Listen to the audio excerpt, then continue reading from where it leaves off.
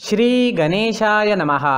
नमस्कार दोस्तों, ये राशिफल चंद्र राशि पर आधारित है। चंद्रमा मन का कारक है। हमारे मन पर जो भी उतार चढ़ाव आते हैं, वो चंद्रमा की स्थिति लेकर आती है। इस वजह से चंद्रमा की पोजीशन हमारे रोज के जीवन को बहुत ज़्यादा प्रभावित करती है। और उसके अकॉर्डिंग हमारा दिन अच्छा या बुरा जाता है। तो आइए जानते हैं इस दिन चंद्रमा आपके लिए किस तरह के परिणाम ला रहे हैं। दोस्तों, इस दिन चंद्रमा आपकी कुंडली में छठे भाव में रहेंगे। इस दिन आपका व्यापार, जॉब जैसे है वैसे चलते रहेंगे। किसी तरह का नुकसान तो नहीं होगा, लेकिन फ़ायदा भी होने की संभावना कम है। निवेश करने के लिए समय जोखिम भरा रहेगा। सामान गुम हो जाना या चोरी होने की संभावना ज़्यादा है, विशेषकर यात्रा के दौरान। तो यात्रा के दौरान अपने सामान का विशेष ख्याल रखना पड़ेगा। यात्राएँ इस समय में करना ठीक नहीं रहेगा। अगर ज़्यादा ज़रूरत नहीं है तो यात्राएँ ना करें। मैरिड लाइफ में इस दिन तनाव भरी स्थितियाँ उत्पन्न हो सकती है। शांति बनाए रखे। घर परिवार में किसी बात पर मतभेद होने की संभावना रहेगी। ग्रहमान खराब तो नहीं है, लेकिन अच्छा भी नहीं कहा जा सकता। स्थितियाँ सामान्य बनी रह सकती है। अगर आप विदेश में व्यापार या जॉब करते हैं तो आपके लिए समय काफ़ी अच्छा रहेगा। विदेश से धन कमाने के लिए भी समय अच्छा रहेगा। अगर लव लाइफ की बात करें तो लव लाइफ के लिए समय सामान्य रहेगा। किसी को प्रपोज करने के लिए, प्यार जताने के लिए समय अनुकूल नहीं है। अपने परिवार से शादी के लिए अनुमति लेनी है तो ये दिन ठीक नहीं रहेगा। थोड़ा सचेत रहे, शांत रहे, जीवन को एंजॉय करने की कोशिश करते रहे। अगर स्वास्थ्य की बात करें तो स्वास्थ्य के लिए समय अनुकूल नहीं है, कोई बड़ी परेशानी तो नहीं होगी। जो लोग पहले से बीमार हैं, उन्हें सेहत का ख्याल रखना होगा। सेहत से संबंधित छोटी मोटी परेशानियाँ इस समय में सता सकती है। दोस्तों, इस दिन परेशानियाँ, नुकसान या स्वास्थ्य से जुड़ी परेशानियाँ आपको सताए तो मंदिर जाकर भगवान का दर्शन ज़रूर करें। और एक रुपए का सिक्का मंदिर के मुख्य गुल्लक में ज़रूर डालें। आपके अच्छे के लिए भगवान से प्रार्थना करना ना भूलें। और इस दिन चंदन या केसर का तिलक अपने माथे पर ज़रूर लगाएँ। हमारा स्वास्थ्य काफ़ी हद तक हमारी आदतों पर निर्भर होता है। अगर आप एक्सरसाइज योगा करते हैं, सुबह टहलने जाते हैं, अपने स्वास्थ्य के अनुरूप डाइट प्लान बनाकर उसे अच्छे से निभाते हैं तो सेहत से जुड़ी परेशानियाँ आने की संभावनाएँ काफ़ी कम हो जाती है। और इम्यूनिटी बढ़ने से मौसमी बीमारियों का खतरा भी नहीं सताता तो दोस्तों, खुद को स्वस्थ रखने की कोशिश ज़रूर करें। इस दिन हरे रंग का इस्तेमाल करना आपके लिए अच्छा रहेगा और पाँच अंक इस दिन आपके लिए लकी साबित हो सकता है। दोस्तों, ये राशिफल चंद्र राशि पर आधारित है। कभी कभी हमारी पर्सनल कुंडली में बाकी ग्रहों की पोजीशन कुछ इस तरह की होती है कि आपके राशिफल परिणाम में बदलाव दिख सकता है। इसलिए राशिफल को एक मार्गदर्शन के तौर पर लिया जाए तो ज़्यादा अच्छा रहेगा। दोस्तों, सभी राशि के लोगों के लिए, जीवन में आगे बढ़ने के लिए कुछ ज़रूरी बातें वीडियो में आगे बताई गई है तो वीडियो आगे ज़रूर देखें। व्यक्ति को अपने जीवन में सफल होने के लिए मेहनत के साथ साथ भाग्य का साथ होना भी बहुत ही आवश्यक होता है। अगर व्यक्ति का भाग्य उसका साथ देता है तो कम मेहनत में ही अधिक सफलता प्राप्त होती है। परंतु कई बार ऐसा देखा गया है कि व्यक्ति के जीवन में कई ऐसी घटनाएँ घटित होती है, जिसकी वजह से उसको बहुत सारी परेशानियों का सामना करना पड़ता है। और इस स्थिति में व्यक्ति को बिल्कुल भी समझ नहीं आता कि ऐसा क्यों हो रहा है। दरअसल, आपके घर में ही कुछ ऐसी चीज़ें होती है, जो हमारे भाग्य को प्रभावित करती है, हमारे जीवन को प्रभावित करती है। और उन चीज़ों के आसपास होते हुए भी हमें वो चीज़ें नज़र नहीं आती। वह चीज़ें हमारे चारों तरफ़ एक अजीब सा घेरा बनाकर रखती है, परंतु हम उसको नहीं देख पाते। इन चीज़ों से हमारे घर में और हमारे जीवन में नकारात्मकता फैलती है, जिसकी वजह से हमें भारी नुकसान उठाना पड़ता है। हम पूरी तरह से कंगाल हो सकते हैं।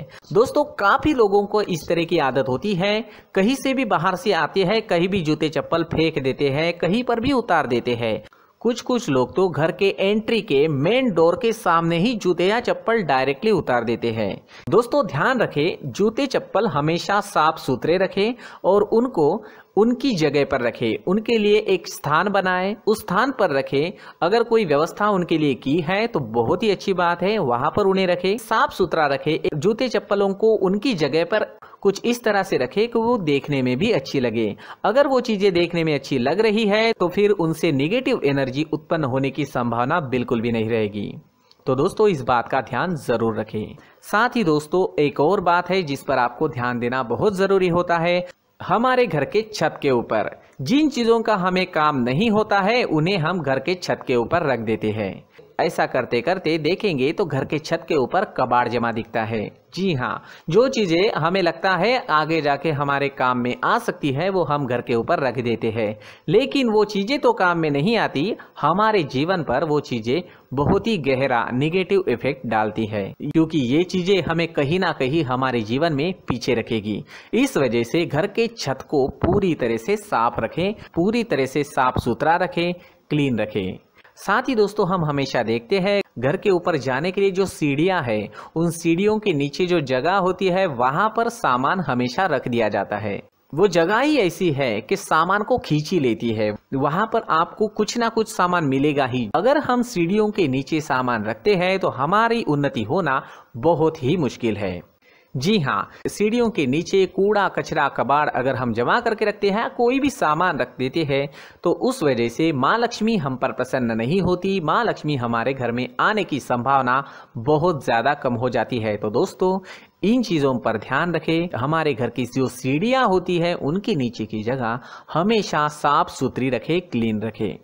साथ ही दोस्तों, अगर आपके घर में ऐसी कोई चीज़ मौजूद है जिसका आपको काम नहीं है, जैसे टूटे फूटे बर्तन, आईना, तस्वीरें, इलेक्ट्रॉनिक सामान, सोफा, कुर्सी, टेबल, पलंग, घड़ी, झाड़ू, गमला इत्यादि तो आप इन सामानों को अपने घर से तुरंत ही बाहर निकाल दीजिए, वरना इससे आपको बहुत बड़ी परेशानी हो सकती है।